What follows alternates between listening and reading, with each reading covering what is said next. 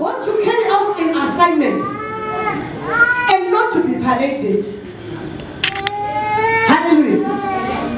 That is the reason why there was there was need for that supernatural move, that supernatural provision that came from the living God.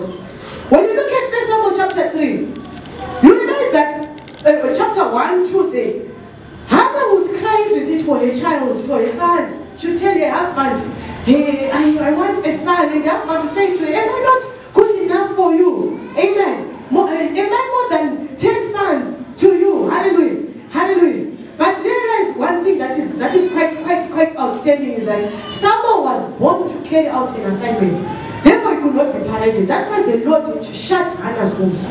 Imagine someone right now if you're going to give birth to a child, isn't you put on Facebook parenting, parenting, parenting, parenting. Son or daughter is arrived. New head shake, isn't it? Hallelujah. Hallelujah. But for some for Hannah, Hannah had to understand that this one this one from the Lord was not for parading. Yeah.